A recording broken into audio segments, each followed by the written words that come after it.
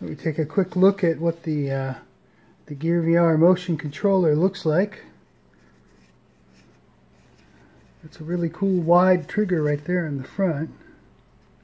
Good placement. The, uh, the touchpad is clickable at each quadrant, which is interesting. There's the uh, a plus minus button. I wonder if that's uh, probably for volume and maybe assignable. Then there's a uh, the back and the home button. That's familiar. I assume when you move your finger on the touchpad, it moves or accepts entry like it would if you swipe the touchpad on the Gear VR itself. Interesting that you can click it though. That must be uh, another assignable thing. There's a little light here at the bottom. You can probably get your drivers just by just by clicking that with your camera.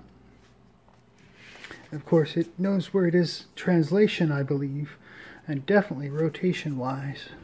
It knows what it's doing in 3D space. It's pretty cool.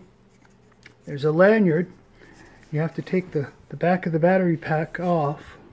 It takes two AAAs. It comes with two AAAs, at least the one Oculus sent me, this early version.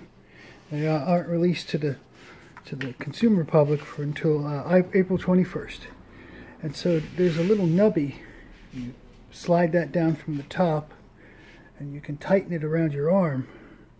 It looks like that when you do it right. So it's tight around your hand and won't fall off. And then easy to grab up again for use. So there it is. It's very cool. It's the perfect size. All right.